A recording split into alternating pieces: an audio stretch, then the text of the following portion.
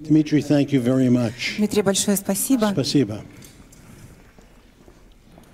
Wow, this is a very interesting situation for me. Это очень интересная ситуация для меня. Usually, when I begin a presentation, Обычно, когда я начинаю презентацию, I always say I'm very happy to be here in wherever it happens to be. я обычно говорю, я очень рад сегодня быть здесь, на этом событии, каким бы оно ни было. But this is a very special place. Но это совершенно особенное место. Uh, I was thinking about this, and Dmitry Я, al- alluded to this. я говорил об этом, и Дмитрий коснулся этого вопроса. Я думал об этом, и Дмитрий коснулся этого вопроса. 125 years ago, А, 125 лет назад my paternal grandfather and grandmother мой, мои э, дедушка и бабушка по линии отца left their home in Kiev покинули свой дом в Киеве and came to the United и States. переехали в Соединенные Штаты. About five years later, Лет пять спустя my maternal grandfather and grandmother мои бабушка и дедушка по материнской линии came from Belarus. приехали из Белоруссии. My grandmother was a big city girl from Minsk, Моя бабушка была девушкой, жительницей большого города Минска, and my grandfather from a small village called Ujlan. а дедушка из маленькой деревни, называемой Ужлан. I didn't think Ujlan was a real place, Я думала, что Ужлан это вообще не настоящее место какое-то. but then we have the internet. А потом появился интернет. So I said, I'm going to look it up. Я пошел смотреть. And sure enough, Ujlan was a real place И Ужлан действительно там был. and still exists today. И он все еще существует сегодня. So this is a very rare opportunity for me Так что для меня это очень редкая возможность сегодня to come and speak to my cousins. а, поговорить с моими племянниками. Some of you I know are from Ukraine Я знаю, что некоторые из вас из Украины, and some from Belarus. а некоторые из Белоруссии. So uh, thank you for inviting me back home. Спасибо, что пригласили меня домой.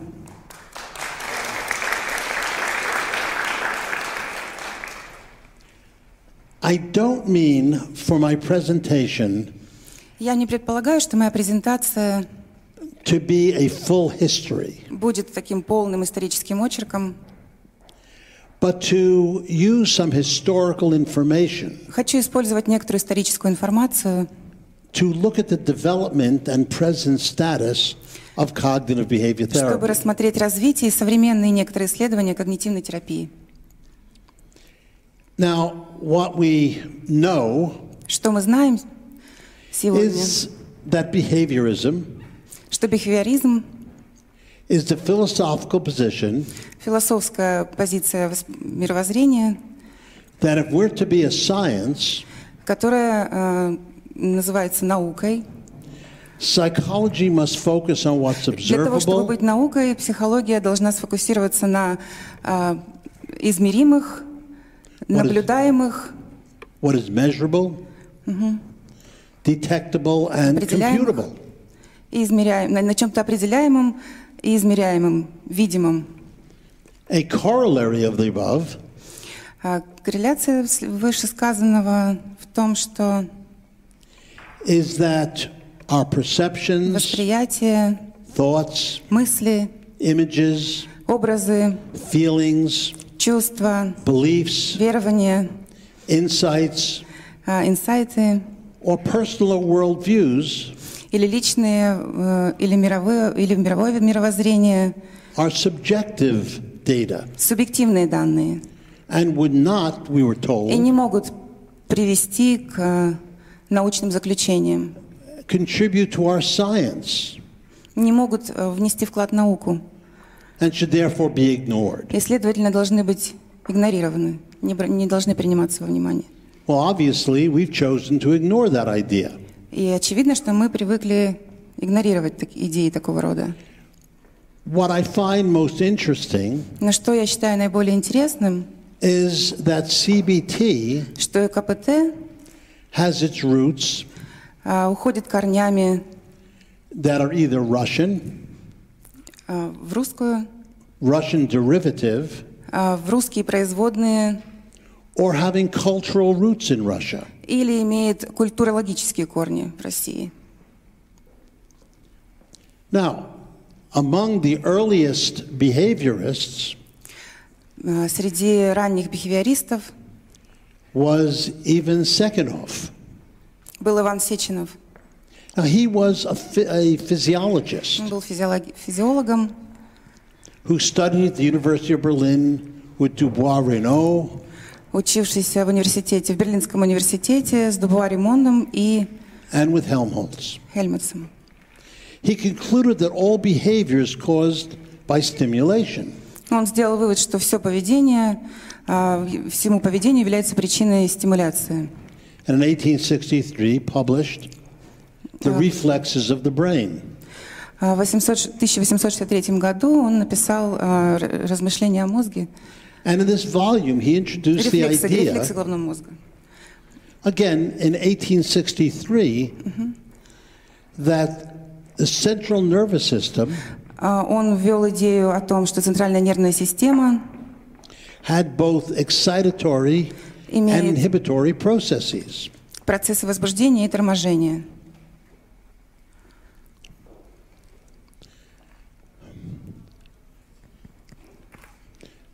Bekerterv graduated from the Military Medical Academy here in St. Petersburg. Бехтерев а, окончил медицинскую военную академию в Санкт-Петербурге, And again, we go back to 1881. опять же в 1881 году. He went on to study also with Dubois Renault Он продолжал Римон. свои, свое and with обучение с Wilhelm Дюба Wundt in Ремонтом Berlin, в Берлине и с Шарко во Франции. and later with Charcot in France, as did Freud. He established the first psychological laboratory Он устроил первую психологическую лабораторию in 1885 в 1885 and returned to the Military Medical Academy in и 1893. возвратился в медицинскую академию в 800 1893. In 1904, А В he published a 1904 paper Он опубликовал а, статью on objective psychology, «Объективная психология», which he later expanded to three volumes. которую позднее он превратил в трехтомник.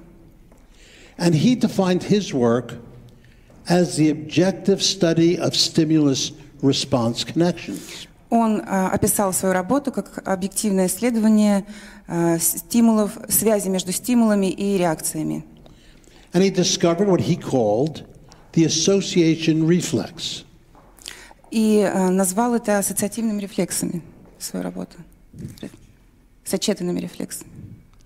Now, of course, the most world famous Конечно, of the наиболее Russian experimenters известным в мире а, was ученым был right here. вот тот, кто Иван находится прямо Павлов. здесь, под именем Павлов. Well, I, I, I've, I've read a secret. I, I, I don't know if I should share this. Я знаю один секрет, который It хочу, wasn't really Pavlov. хочу поделиться с вами сегодня. Это вообще-то на самом деле был не, не совсем Павлов, It was a worker Это who был worked for Pavlov рабочий, который who работал fed the dogs. на Павлова, который кормил собак. And he said to Pavlov, И он сказал It's Павлову, interesting. интересно вообще-то, Whenever I go into the room with the dogs, they are always so happy to see me. когда бы я ни заходил в комнату с собаками, они всегда очень счастливы меня видеть. Pa- th- Dr. Pavlov, why is this so? Почему, Павлов, почему это так? And Pavlov thought about it, Павлов начал думать об этом. and he won a Nobel Prize. And the worker, А, и, и, we э, don't even know his name. м, мы не знаем даже имя этого рабочего. I, I don't know if that's true. Я не знаю, правда ли эта история, правдива ли эта история. And of course, we know of Pavlov's work, Конечно, мы все знаем о работе Павлова, and everyone knows about classical conditioning, и все знают о классическом обуславливании, which can also be called the original conditioning paradigm. которое может быть названо изначальной а, обуславливающей парадигмой.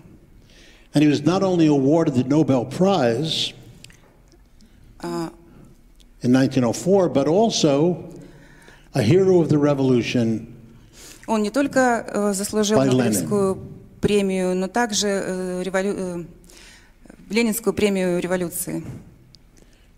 Luria Лурия was a neuropsychologist был нейро and a leader of the Vygotsky Luria Circle. И открыл э, э, э, круг, цикл Выгодский Лурия лидером круга Выгодского. Дата. мгм. He completed schooling Свое in обучение он 1921, э, закончил в Казанском университете and he had 1921 established an active correspondence with Sigmund Freud И у него была активная переписка с Зигмундом Фрейдом. and established the Kazan Psychoanalytic Association. Он основал Казанскую психоаналитическую ассоциацию. He continued his studies in Moscow продолжал учиться в Московском and completed three major books А Он выпустил три основные книги in development of intellect, speech, О развитии интеллекта, речи. Um, his work, specifically with reaction times, Его работы были э, earned him a Реакции- position at the Institute for Psychology in Moscow. Его ра- работы касались процессов мышления, которые э, позволили ему занять позицию, должность в Институте психологии в Москве. But I'm not telling you something that you don't Но already я не говорю вам чего-то, чего вы не знаете сегодня. You already know about the important and central place А that Russian research has и центральном месте, которое российские исследования имеют для этой науки. But maybe some things you don't know. Может быть, есть что-то, что вы все-таки не знаете. That if we look at European psychodynamic contributors, Что есть также вклад евро- европейской психодинамической школы в CBT. we have Sigmund Freud У нас есть Зигмунд Фрейд as a major CBT contributor. как основной э, вноситель вклада в, CBT, в КПТ. That if you look at Freud's work Если вы посмотрите на работу Фрейда, in his classic paper, его классические 1914. записки в 1914 году on narcissism, по нарциссизму, например, he spoke about schema, он говорит о схемах, which I'll be talking about shortly. о которых мы будем скоро тоже говорить с вами. An early co worker of Freud's, Alfred Adler, И м, его коллега Альфред Адлер, also in Vienna, также в Вене, was probably the very first cognitive therapist возможно, был самым первым когнитивным терапевтом. that he came up with the idea of lifestyle. поскольку он предложил идею э, жизненного стиля. I was very fortunate in my career. Мне очень повезло в моей карьере. I had the opportunity to study with Kurt and Alexandra Adler, У меня была возможность учиться с Кертом и Александром Адлером. Alfred Adler's children. Это дети Альфреда Адлера. And Kurt Adler told me Керт Адлер однажды сказал мне, that his father что его отец liked the term schema, очень любит термин «схема», but he was talked out of it. но он его отговорил от этого. The term Его. he settled on was lifestyle. А термин, который, на котором он решил остановиться, был «стиль жизни».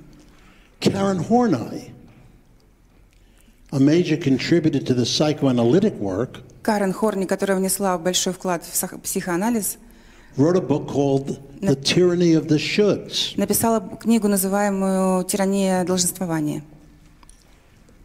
a basic CBT textbook. Ну, вообще-то это такая фундаментальная книга для КПТ. Eric Erickson Э, Эриксон talked about the social component, говорил о социальном компоненте. and I use Erickson's work Я пользуюсь работами Эриксона, to understand schema development. чтобы понять, как развивается схема. Anna Freud, Анна Фрейд. the idea of defense mechanisms. идея защитных механизмов. Again, basic CBT work. Опять, это же фундамент для, для КПТ.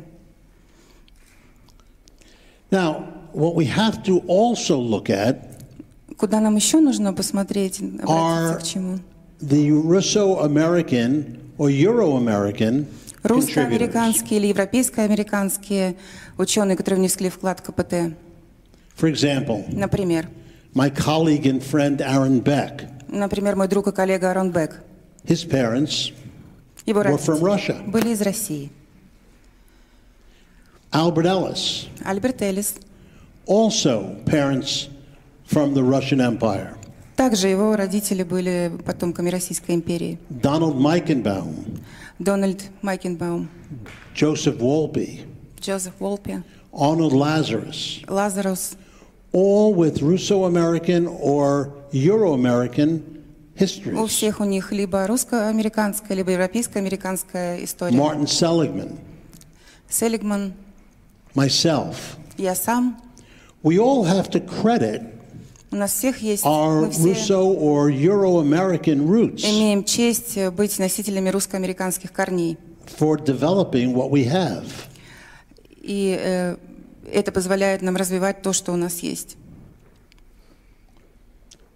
In 1977, В 1977 the late Michael Mahoney поздний Майкл Махони wrote a book написал книгу, where he called CBT которую назвал КПТ the barbarians at the gates. «Варвары у ворот». 1977 was the year that I came to Philadelphia В 1977 году я and приехал started working with Dr. Beck. в Филадельфию и начал мою работу с доктором Беком. In those days, В то время CBT was on the outside, CBT была некоторым аутсайдером. Yelling as loud as we could. Let us in. А мы просили, пустите нас, пустите нас в научное Look at our сообщество. ideas. Посмотрите, какие у нас замечательные идеи. And the answer was Ответ был no, нет. we're not interested. Нам не интересно. We already have all the ideas we need. У нас уже есть все идеи, которые нам нужны. What I think is interesting historically, Но я думаю, что интересно с исторической точки зрения, if you do a computer search of the literature, если вы поищете в интернете э, некоторую информацию о литературе and you put in the term cognitive behavior therapy, и введете термин когнитивно-поведенческая терапия, prior to 1977, до 1977 года there's very little. там вообще-то всего очень, ничего нет, очень мало информации. So 1977 Так что 77 was a powerful year был очень знаменательный год. when so much was happening. Происходило в то время очень многое. If you look at the literature on CBT after А вот если вы 1977, после 77 посмотрите какую-нибудь литературу по КПТ, you find thousands of вы references. найдете сотни сносок и ссылок. In 1977, В 77 Beck had written his first book, Бек э, wrote his first book Red called написал э, книгу, Cognitive первую Therapy. книгу «Когнитивная терапия And the Emotional Disorders. и эмоциональные расстройства». And he was very proud of it. И он очень горд этим. So he sent it to a major publisher. Он сказал одному влиятельному издателю, The publisher was in New York, а издатель был тогда в Нью-Йорке, and the name of the publisher was Brunner Maisel. его имя было Бруно Мазел, And they turned it down, они ее завернули. weren't interested. Неинтересно. So he sent it to another publisher, Он отправил ее к другому издателю, International Universities Press, Международный, э, Международный институт пресс, International University, да, Международный and they институт. published it. А вот они опубликовали. In nine- starting in 1977, Начиная с 77-го, Beck would meet with all of the staff Бек встречался со всеми сотрудниками at what was called the Center for Cognitive Therapy Центра когнитивной терапии at the University of Pennsylvania. в Университете Пенсильвании. And he would discuss this thing he was inventing И он обсуждал вот эти вещи, которые он изобрел, called cognitive therapy. э, то, что называлось когнитивная терапия. And there were a number of us, И там было некоторое and количество we all людей, contributed. и мы все туда вносили какой-то свой вклад. And Beck would write things furiously. А Бек просто неистово записывал за каждым из нас все, что мы говорили. In 1979, В 77-м he took the manuscript он э, написал манускрипт, and he sent it to a new publisher just opened up, и он сказал новому издателю, просто его откройте. Guilford Publications. Guilford Publications. And the book was so incredibly successful Эта книга была настолько невероятно успешной, when it was published in 1979 когда была опубликована в 77-м, that it became the basis что она стала фундаментом for the success of Guilford as a publisher. для самого Гилфорда как издателя. And Guilford remains to this day И Гилфорд все еще сегодня жив, one of the major publishers of cognitive один из behavioral самых books. основных издателей книг по когнитивной терапии. I was at a congress in New York, Э, В Нью-Йорке проходит and конгресс, it wasn't terribly busy. И он не был таким уже оживленным. And there was an exhibitor's booth А там была э, стенд с книгами, был, был выставлен стенд с книгами for Brunner Maisel. э, Бр- Бруно Мазелли. So I went in and I started talking to я однажды подошел и стал говорить с владельцем Bernard Maisel. Бруно Базел. And I must admit I was a bit aggressive. Я должен признать, был слегка агрессивным в тот момент. And I said, Why is it you've never published anything in cognitive therapy? я сказала, почему это вы вообще ни разу ничего не This was about опубликовали 1980. по КПТ? Это было в 80-м году. He said, Well, for two reasons. Он сказал, ну, вообще по двум причинам. The first reason is no one ever sends me manuscripts. Вообще, первая причина, никто никогда не присылал мне никакую рукопись. But the other is because of a mistake I made. А вторая, потому что я сделала ошибку. One day, my psychology editor was out sick. Однажды, когда мой... э, The, his psychology editor was out sick. Was sick.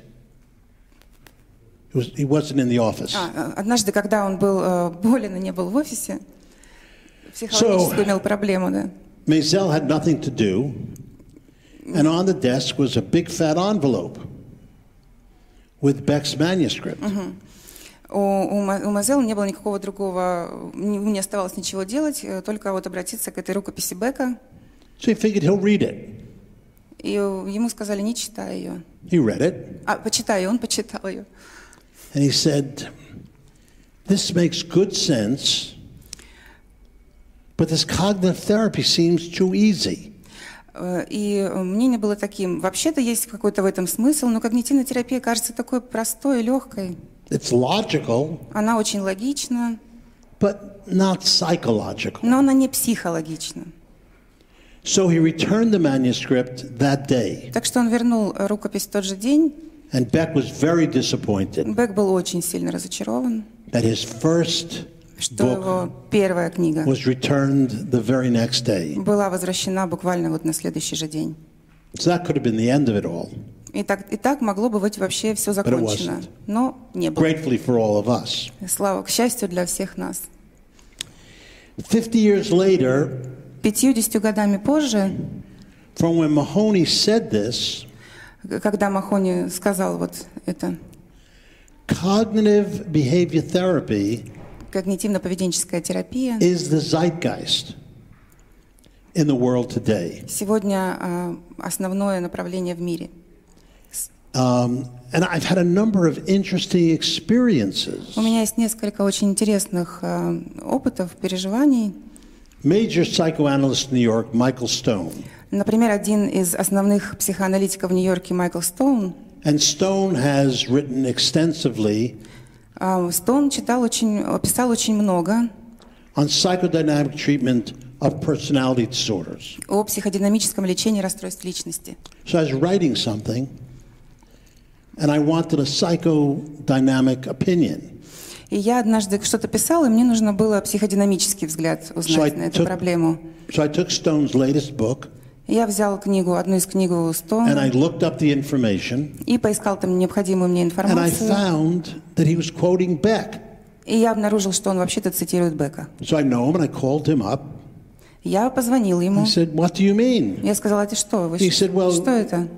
You guys have the best information. Он сказал, ну а что, ребята, у вас самая лучшая информация, вы обладаете самой лучшей информацией. Tremendous compliment. The psychoanalyst Otto Kernberg, А психоанализ, э, психоаналитик Отто Кернберг, I observed him working, я однажды наблюдал, как он работает. and I said, Otto, Я сказал, Отто, if I didn't know better, I think you were a cognitive therapist. если бы я не знал наверняка, я бы подумал, что ты когнитивно-поведенческий said, well- терапевт. Он говорит, ну, I conceptualize psychodynamically, я вообще концептуализирую в психодинамическом ключе, but I treat cognitive behaviorally. но лечу в когнитивно-поведенческом. Okay. So we very much have taken the center.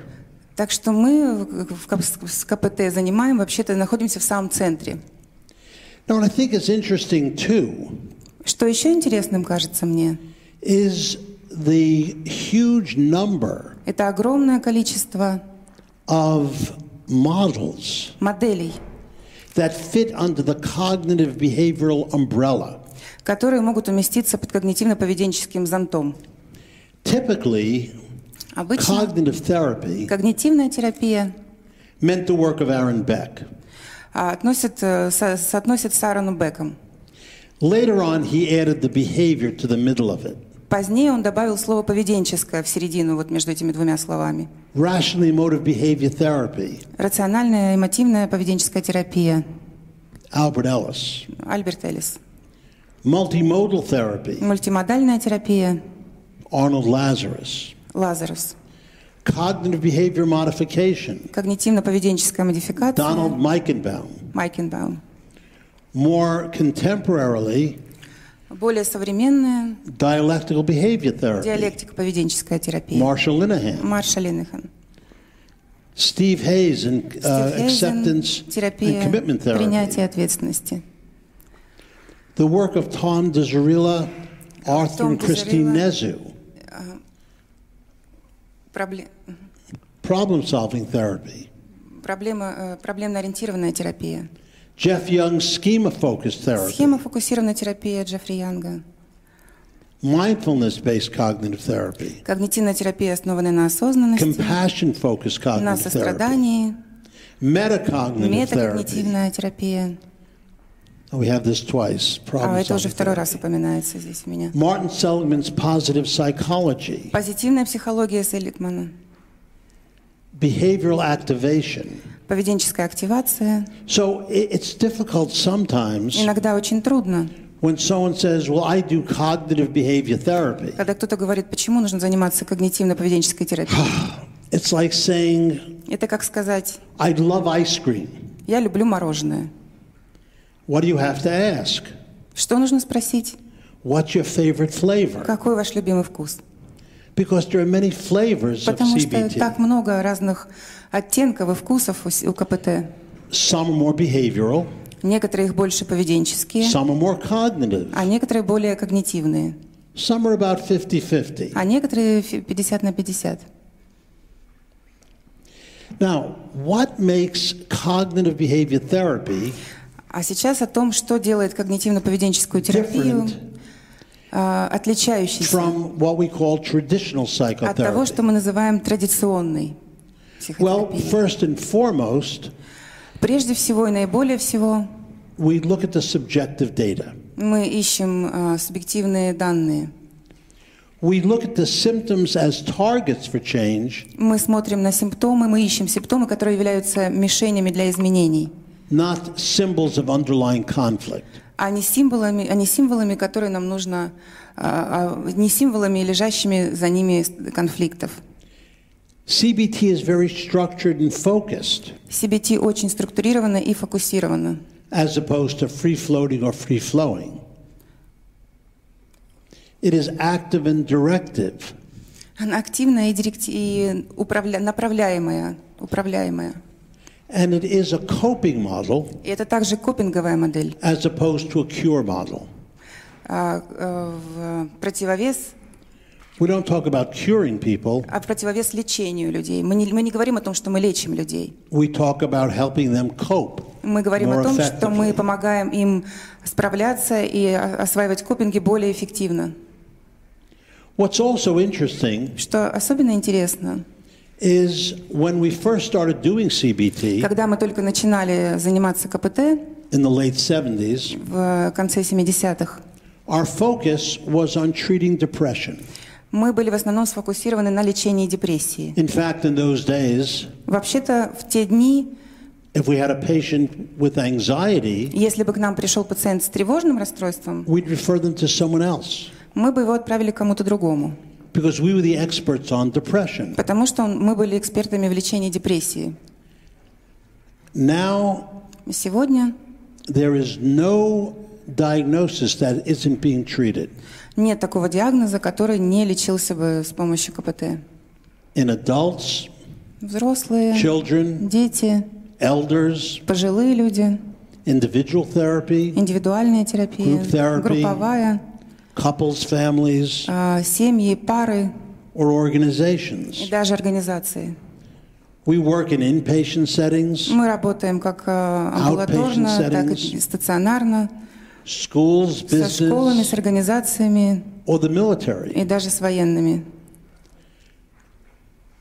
We don't just deal with depression, Не только имеем дело с we deal with депрессией, every possible с diagnosis любым возможно that you существующим would find диагнозом. in ICD.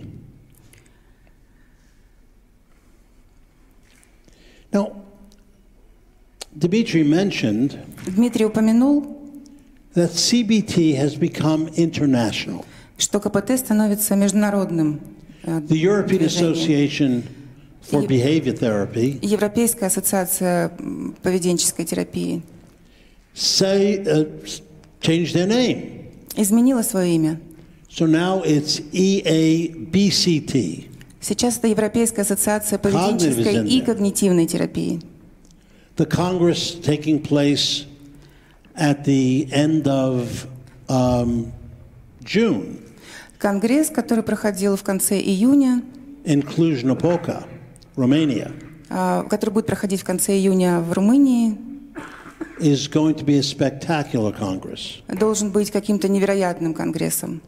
And it's not only spectacular by content, Не только по содержанию, которое там ожидается, but the presenters, но и по тем э, докладчикам, которые будут участвовать. the beautiful sights, А, Прекрасные виды and wonderful food. I must и прекрасная еда, я должен предположить могу. There's the World Congress of Behavioral and Cognitive Therapies, Значит, сейчас проходит мировой конгресс по поведенческой когнитивной терапии, the Association for Cognitive Therapy. И также существует ассоциация когнитивной терапии всемирная. Now, we may have some differences about what's first wave, second wave, third wave. У нас могут быть некоторые различия между первой, второй, третьей волнами. In my view, the first wave В for моем us понимании э, первая волна was the behavioral work была э, посвящена поведенческой in the части 30s, 40s, 50s. в 30-х, 40-х и 50-х. The second wave, Вторая волна, starting in the late 50s, 60s, начиная с and э, конца 70s, 50-х и до 70-х, the names I've mentioned before, имена уже, которые я упоминал раньше, the third wave, третья волна. Linehan, Hayes, Линнехен, Хай- Хейс, uh, Jack Apshe's mode deactivation therapy, and the introduction of mindfulness, И вот э, в презентации введения mindfulness, the work of John Teasdale and Zindel Siegel, работы Зигала, Тисдейла. so that there's a third wave. But I, I differ on the fourth wave of cognitive therapy. Я также еще различаю четвертую волну когнитивной терапии. And the fourth wave of cognitive therapy, in my view, Четвертая волна, по моему мнению, is the inclusion это of a neuroscientific focus.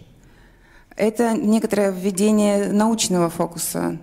We have to look at Мы neuroscience. должны обратиться к нейронауке.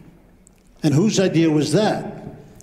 А кто, Sigmund Freud. кто же нам это предложил? Зигмунд Фрейд, никто иной, как Зигмунд Freud Фрейд. said in the beginning of the 20th century, Он говорил в начале 20 века, because remember, Freud was a neurologist, если мы все помним, то Фрейд был вообще that all of the nervous disorders что все нервные расстройства would be found to have э, a будут, neurological base. будут иметь неврологическую основу. And I think if he were alive today, Я думаю, что и сегодня это Freud would be leading справедливо. the group looking at Если бы он жил сегодня, то он, бы, то он бы был лидером этой группы, вот, которая говорит о том, что имеются неврологические основания. and I'll talk more about that Я буду больше говорить об этом tomorrow and завтра, uh, Saturday. завтра и послезавтра. Now, what makes us international? Что делает нас э, международным It's движением? very interesting. Это интересно. Um, we learn, and, and again, I want to thank Dimitri for Опять хочу even bringing this up. Дмитрия за то, что он вообще упомянул это. We read a great deal about attending to diversity. Мы э, очень много читаем о том, как нужно обращать внимание Да. на всякие отклонения. People are different. Люди разные.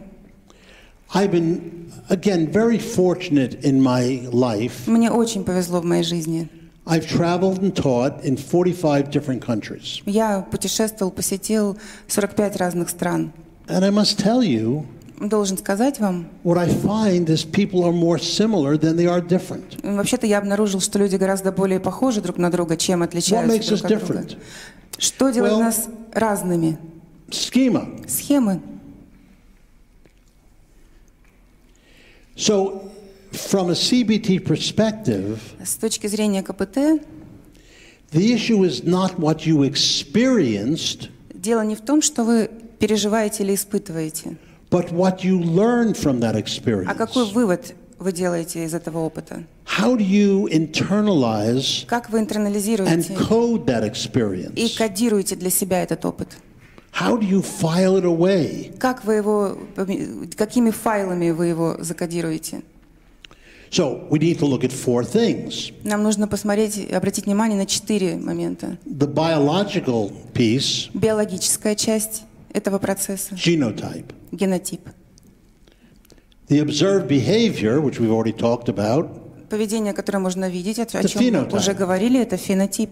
but I want to add two ingredients here Я хочу добавить еще два ингредиента сюда. the environmental context, Контекст окружающей среды, which I'll call sociotype, который также называется социотипом, and the content and range of the schema, и содержимое, и большая вариативность which I'll схем. call schematype. Схемотип, иначе называется. So, if I were to move to St. Petersburg tomorrow, Если бы мне нужно было завтра переехать жить в or Санкт-Петербург, Thailand, or anywhere else, или куда-нибудь в Таиланд, или куда-нибудь еще, I'm a very good therapist, I must admit. я должен признать, что вообще-то я очень хороший терапевт. But could I work in Russia or Thailand or Могу ли я else? работать в России или в Таиланде, и где-либо еще? No, Ну, вообще-то нет. not until I learn the schema. Не до, не до тех пор, пока я не выучу What схемы, are the нет. rules you live by? Это те правила, по которым вы живете. What are schema Что же такое эти схемы, that are typical? которые типичны для людей в определенном месте? So the schema are a filter Схема – это фильтр for expressive and receptive data. для э, обработки Everything goes through the schema. данных. Все, в конце концов, сводится к схеме. So the schema are an internal filing system. Это такая внутренняя система файлов. The schema are formed by middle childhood Они формируются к среднему детскому возрасту, and may be active or dormant. Some schema are active and they govern our day-to-day они могут, быть, они могут быть активными или дремлющими, быть потенциальными. So let me think. I'm going to be talking with a group today Давайте предположим, что я собираюсь Should I wear a t-shirt and shorts? перед какой-то группой людей. А Надену ли я футболку и шорты? What do you think? Как вы думаете? Would that be appropriate? Будет ли это уместно? Нет, у нас есть, мы все делим, разделяем одну и ту же схему, что я должен одеться профессионально перед вами. Some schema are dormant or latent. А некоторые схемы латентные или же, иначе сказать, дремлющие. They only come out under stress. Они только а, активизируются во время стрессовой ситуации. There was a situation in New York City. A man was on the metro, the underground, Однажды в Subway. Нью-Йорке произошла такая история. Мужчина один был в, Нью-Йор- в Нью-Йоркском метро, and he fell onto the tracks, и он э, свалился с... э, fell into the- fell onto the subway А, tracks. он, он, уп- он упал в, на, на- and a нарезь. train was coming. А поезд уже в этот момент подъезжал. And a stranger jumped onto the И tracks незнакомец прыгнул туда, and lay on top of him лег на него сверху, pushed him down при- прижал его к so низу, the train passed over them так, чтобы поезд проехал над ними. and they were both safe. И они оба были спасены. And afterwards they said to the stranger, Потом он сказал незнакомцу, Why did you do почему that? ты сделал так? Зачем так and what did поступил? he say? Что он ему ответил? I don't know. Я не знаю. But it seemed to be the right thing to do Но мне показалось, что так правильно будет сделать. Because he has another schema life is precious. Потому что у него есть такая схема. Жизнь представляет ценность. Life is precious. Жизнь ценна. Now, I can share something you may or may not agree with. Я скажу вам сейчас кое-что, с чем вы Let me можете tell you about согласиться, my- а может и нет. Russian grandmother. Рас- Позвольте мне рассказать вам о моей русской бабушке. If there was one piece of bread Если у нее оставался хоть один кусочек хлеба in her house, в руках, who would she give it to? как вы думаете, кому она Would его she eat давала? it? Съела бы ли она его? Would she give it to somebody else? Или дала кому-то другому? What do you think she would do? Как вы думаете, что она сделала бы? She would give it to her grandchildren. She'd give it to her children. Да, действительно, она дала бы детям. Because my Russian grandmother would do anything. Потому что моя русская бабушка сделала бы абсолютно все для ее детей. Is that still the case? И сегодня это все еще так. Probably. Возможно. So Так что basically, that would be a dormant schema. в основном это дремлющая схема. Some schema are compelling. Некоторые схемы такие настойчивые. We can't let them go. Мы не можем их игнорировать. Some schema are what I call non-compelling. Некоторые схемы не настолько напористые или требовательные, как я говорю. They're, they're rather easily surrendered. Они легко сдаются при случае. But some schema are compelling. Но некоторые очень трудны. What we call someone То, как мы кого-то называем, who is willing to Как- die for their beliefs? как мы называем кого-то, кто готов умереть ради своих убеждений. What do we call such a person? Как мы называем такого человека? Say again? Скажите еще раз, пожалуйста. Yes, a Patriot. patriot. Патриот. What do we call someone who's willing to die for their religion?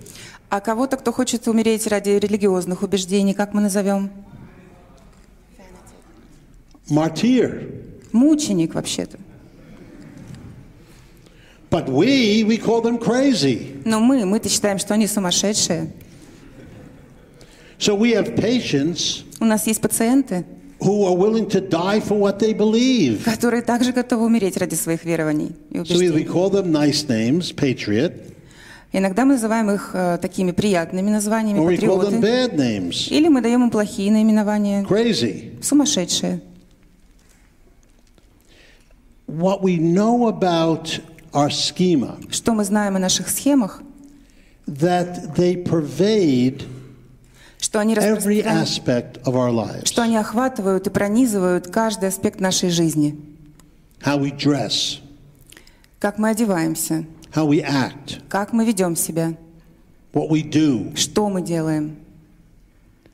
so that it's very important Так что очень важно, to understand, whoops, очень важно понимать, to understand the patient's schema. понимать схему пациента. Now, some schema Некоторые схемы are easily identified. лег- очень легко определить. They're so clear, Они настолько очевидны, if you don't understand the schema, если вы не понимаете схему, it's because you're not listening. только потому, что вы не слушаете. Some schema are not so clear. Некоторые схемы не настолько ясны и понятны. Some schema requires some work to understand. Для таких схем нужно проделать некоторую работу, чтобы понять их. Now, it would seem simple. Покажется простым, возможно. I have an idea, У меня есть некоторая идея, I have a belief у меня есть убеждение, that doesn't help me. которое мне не помогает. In fact, makes me unsuccessful. По сути, оно делает меня неуспешным. So why don't you give it up? Почему же мне не отказаться от него? And the answer usually is because I acquired that belief Ответ обычно таков, потому что я приобрел это убеждение from someone very important, от кого-то очень важного для меня. a parent, Родителя, a teacher, учителя, a priest. священника, возможно. And I acquired that belief very early, very young. А также потому, что это убеждение у меня с очень ранних лет. So schema that are acquired very early Схемы, которые приобретены в раннем возрасте, в очень раннем возрасте. and from a very credible and significant source И особенно, если из какого-то очень уважаемого и значимого источника, are usually very hard to change. обычно очень трудно изменить. But as you'll see when we talk tomorrow, Но, как, мы, как вы увидите из завтрашнего разговора, it's the basic, basic focus for это, cognitive therapy. это наш, это, они являются основным фокусом когнитивной терапии. Now, when you challenge someone's schema, Когда же вы ставите, когда же вы делаете, бросаете вызов чьей-либо they схеме, become anxious. у них возникает чувство тревоги. We don't like to be challenged. Нам не нравится, когда мы становим, оказываемся в состоянии вызова или какой-то угрозы. So, one of the first things I do in cognitive therapy Первое, что я делаю в когнитивной is I want терапии, to teach the patient to deal with anxiety. я учу пациента справляться с его тревогой. And I've had patients say, but I'm not anxious. Часто пациенты говорят мне, я не I'm нервничаю, depressed. у меня депрессия. And I tell them that as we start working on the ideas you have, А я говорю им, когда мы начнем работать с э, идеями, которые, которые у вас э, есть, возможно, тогда вы почувствуете тревогу. So I want you to be able to deal with your anxiety. Я хочу, чтобы вы умели справиться с ней. Because when someone Потому feels что, anxious, когда кто-то чувствует тревогу, avoidance, they run. они убегают, они начинают избегать таких ситуаций. And that fight or flight response Этот ответ э, «беги» э, или «дерись» may interfere with therapy. может помешать течению терапии. There are many different types of schema Существует очень много разновидностей схем.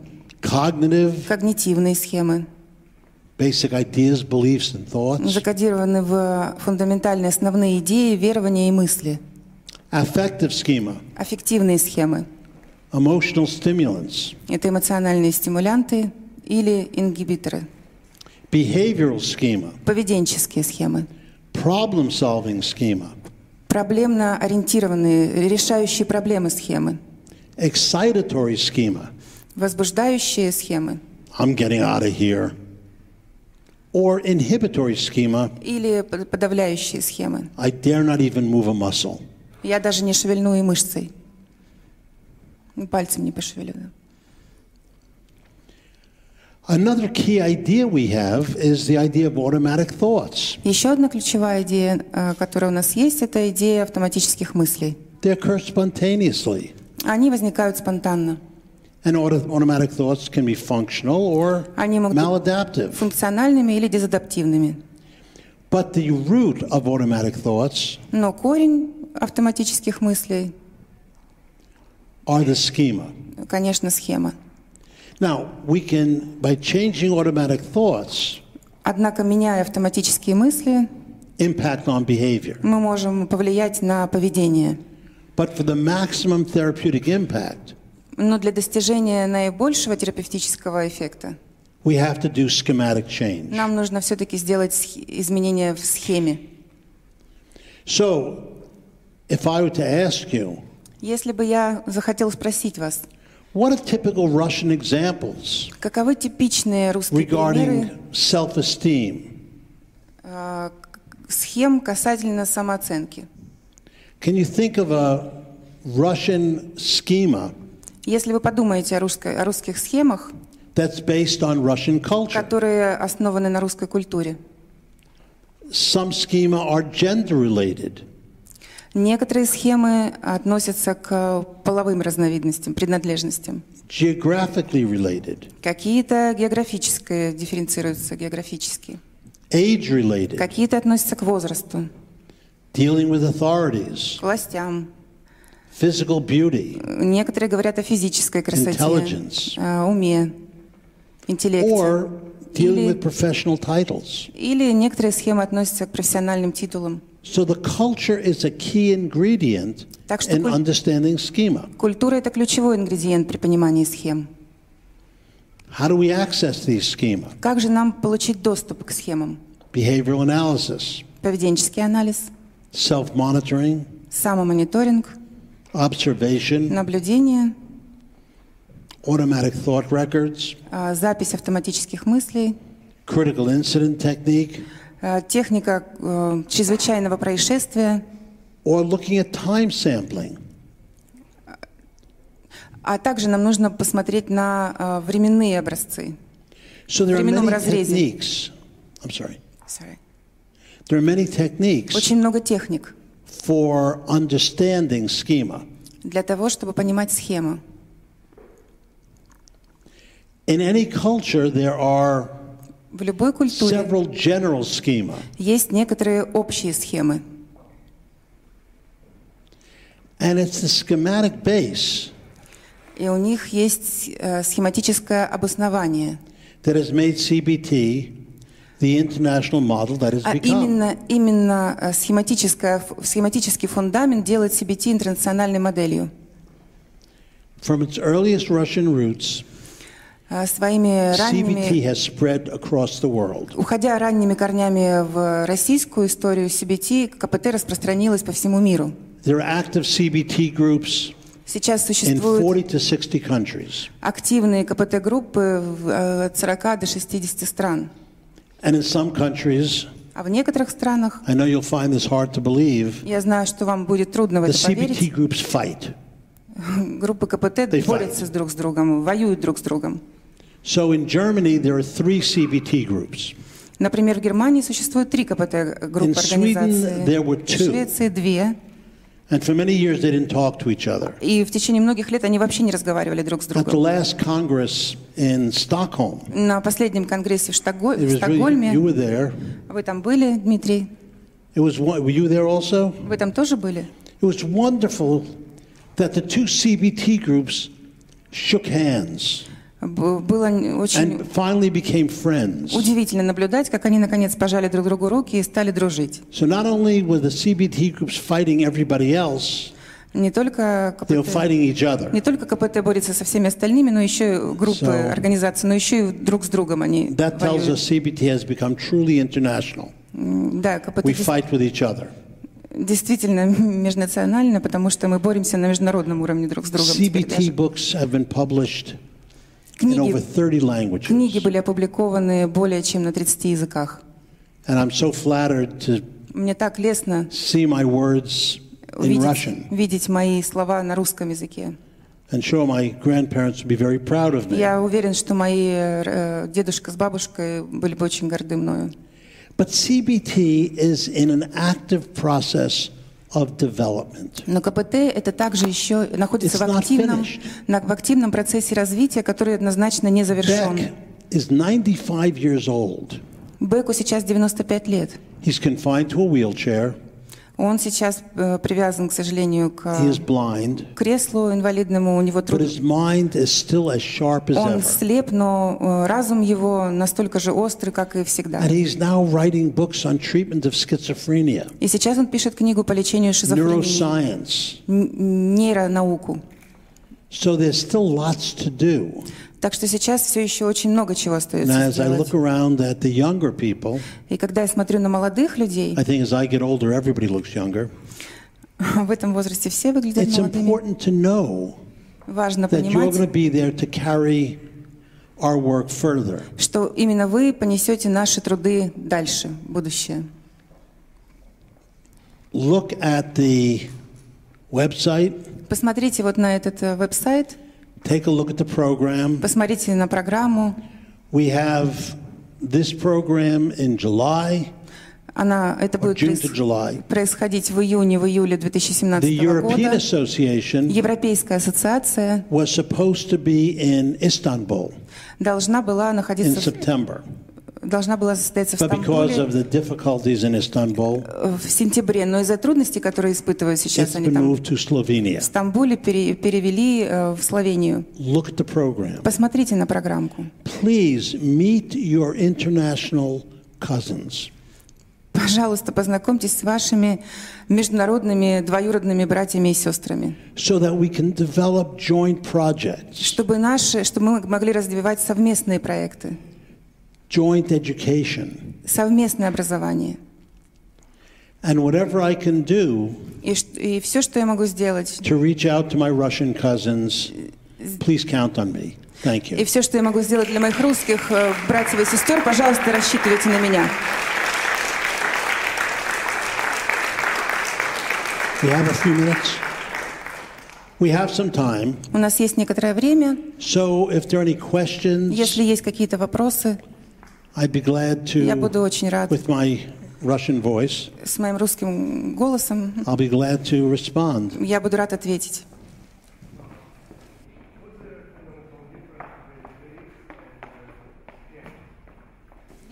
Различие между уверованиями и схемами, да? Не, не I, слышно. I didn't hear him. Is there any difference between schema and beliefs?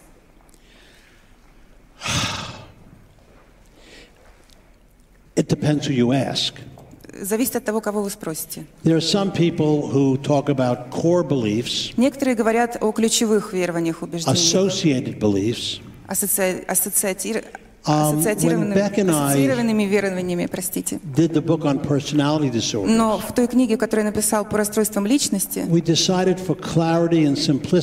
ради ясности и простоты мы решили, use the term schema as a basic belief. мы решили, что э, термин схема будет употребляться как в смысле основного убеждения, как основное правило, чтобы мы могли разделить на более мелкие части. but I think it just confuses the patients. Но я думаю, что это только смутит и запутает пациентов. So I would use the term schema and belief Я бы с- использовал термины схема и убеждения synonymously. синонимически. Any questions? Вопросы, пожалуйста. No? Нет вопросов? Спасибо. Есть вопросы?